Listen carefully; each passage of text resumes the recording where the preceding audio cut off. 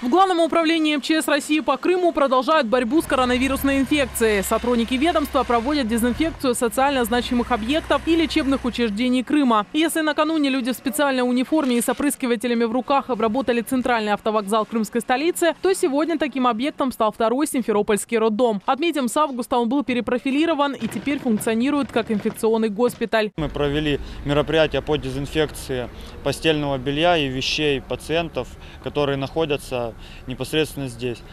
А, Провели мы дезинфекцию с помощью пара формалиновой смеси, которая готовится в автомобиле и подается в дискамеру. Специальная смесь готовится с помощью котла, который нагревает воду до ее испарения. Пар проходит через бак с формалином. Дезинфекция проводится при температуре 100 градусов в течение 20 минут. Мероприятия по дезинфекции проводятся с целью предотвращения распространения коронавирусной инфекции через непосредственный контакт медиков и сотрудников прачки, которые после нашей обработки э, стирают это белье. Обрабатывается все постельное белье и больничная одежда пациентов роддома. После того, как вещи прошли дезинфекцию, белье вынимают и передают сотрудникам роддома для его обработки в прачечном медицинского учреждения. Мария Мосур, служба новостей ИТВ.